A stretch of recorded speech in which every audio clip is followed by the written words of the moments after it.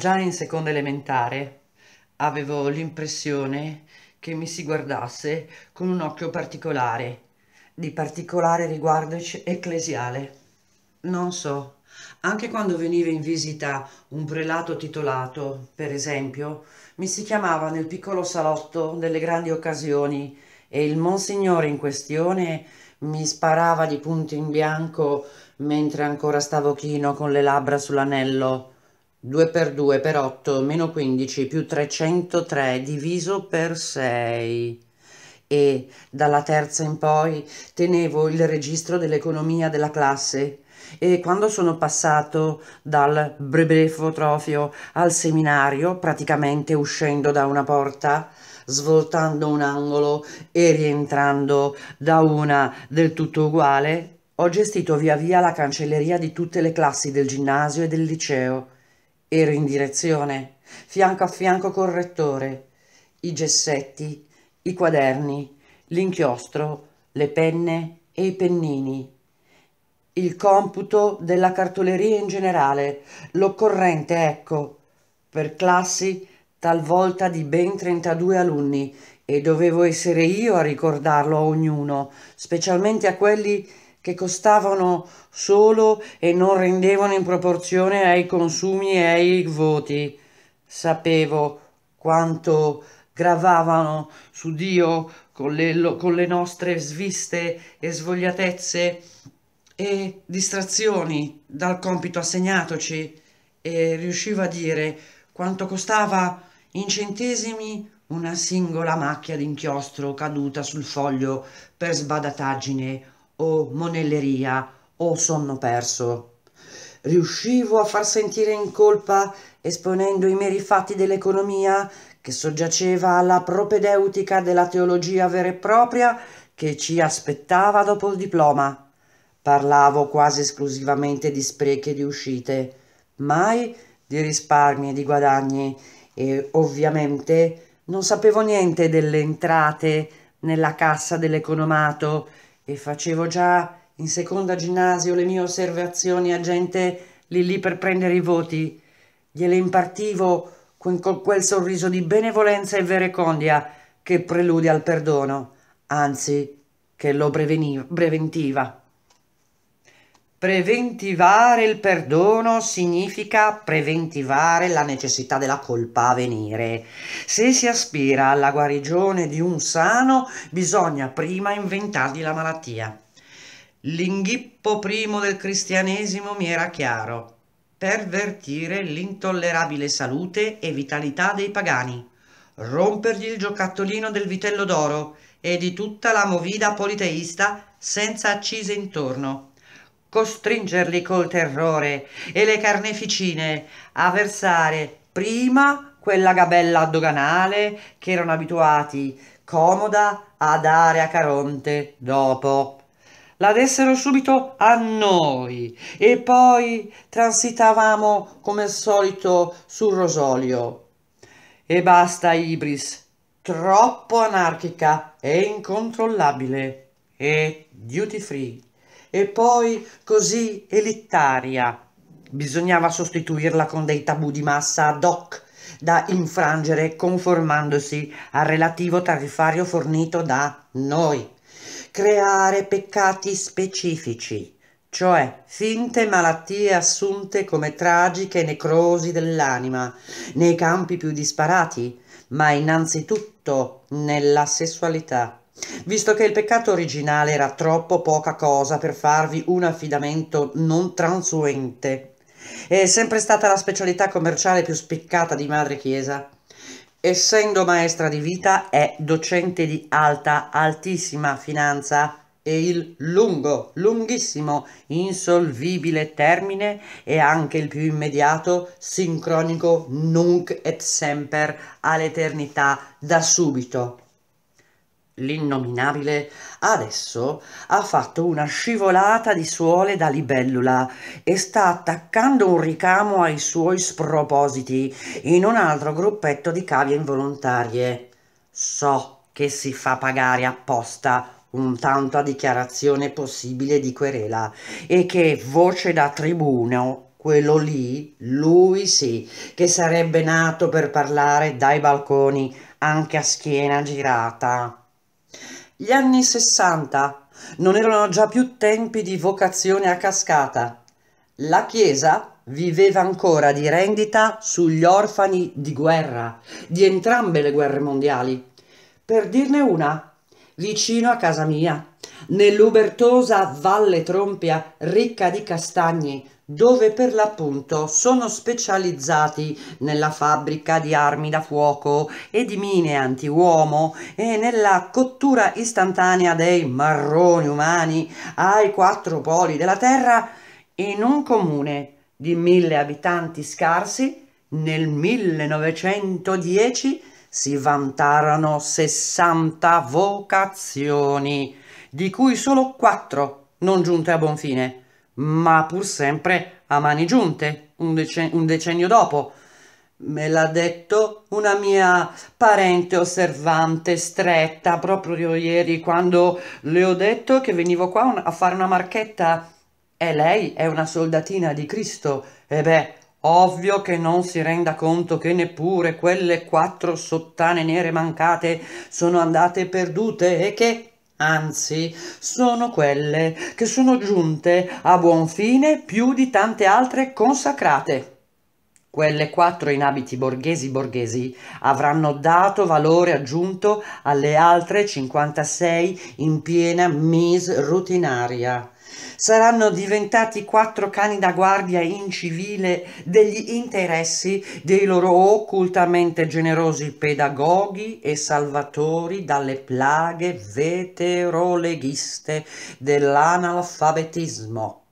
Saranno diventati dei fascisti esemplari, dei podestà in orbace su un balcone che promettevano l'olio di ricino che è ancora la cosa più vicina a una tonaca nera su un pulpito che brandisce un'ostia divina.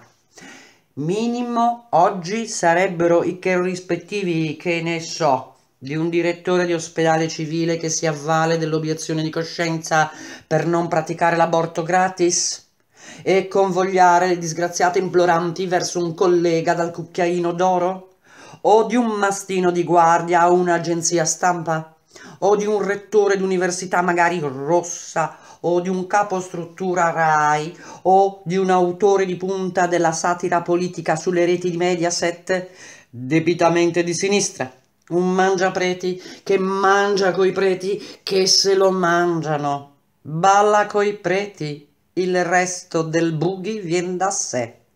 Avete notato come anche le migliori menti atee, agnostiche, a confessionali, Dio del cielo se fosse una colomba che termini del cacchio. E i più insospettabili illuminati, illuministi italiani emanino nei loro discorsi quel retrolezzo di sacristia che spegne tutti i ceri meno uno, perché non si sa mai, e arrivare al 27 senza la spintarella del prevosto può diventare problematico da un mese all'altro.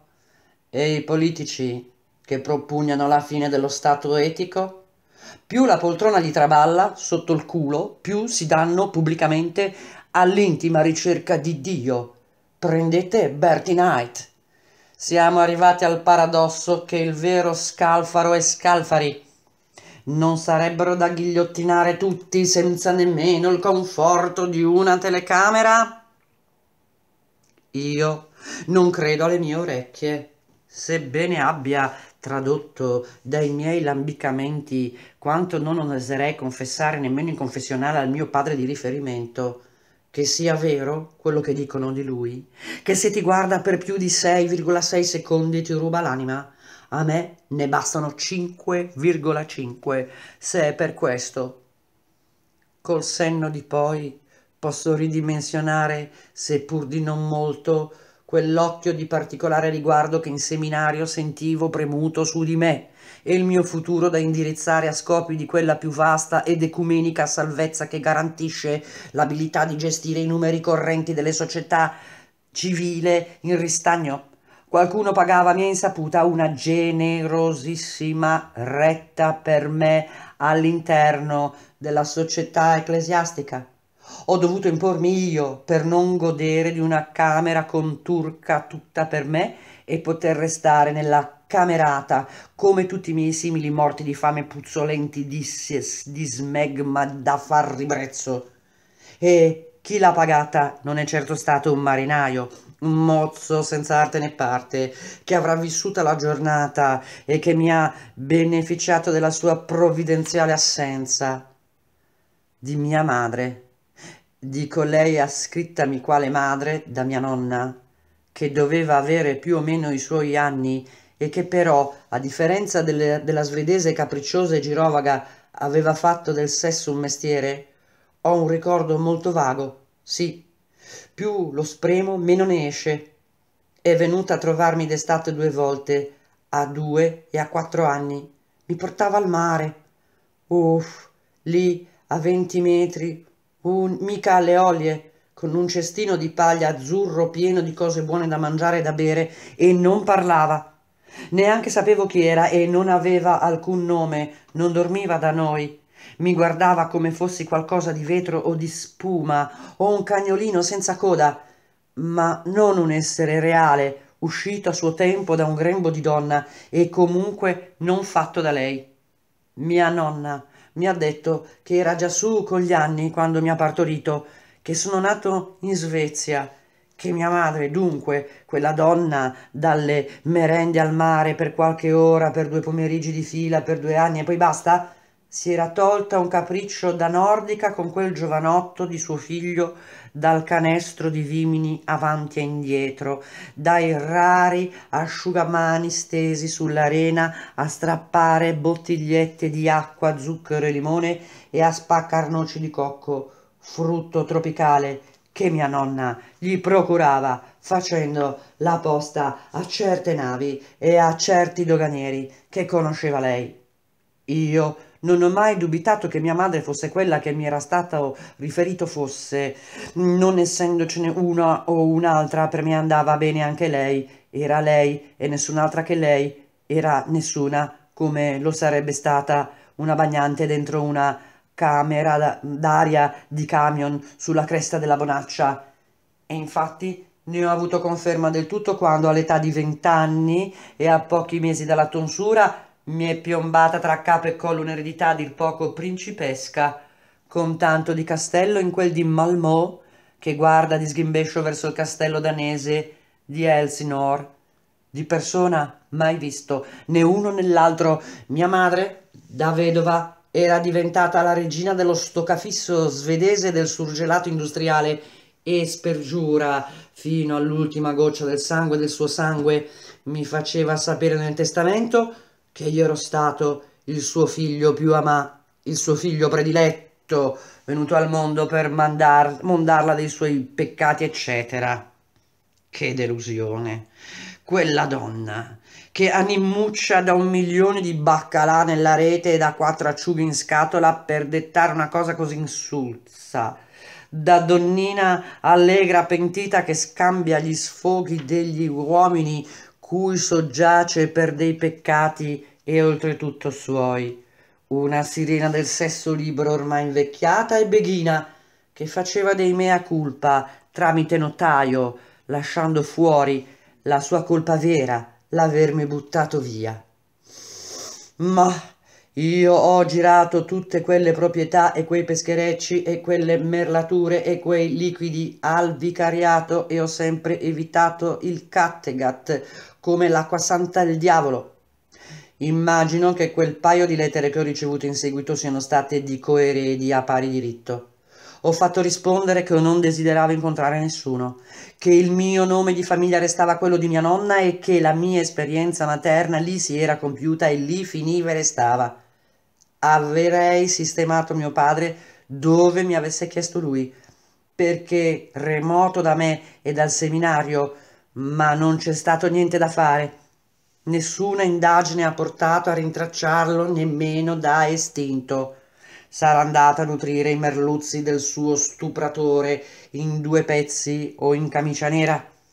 Penso che quella tocca di svedese allattasse l'avventura più di tutto e che dei sentimenti predileggesse la parte oppressa, tenuta giù, non profferta, l'aureola penitenziale. Io le sono servito per crearsi una pena incommensurabile che non potesse finalmente lenire con una bevuta e una scopata sotto le stelle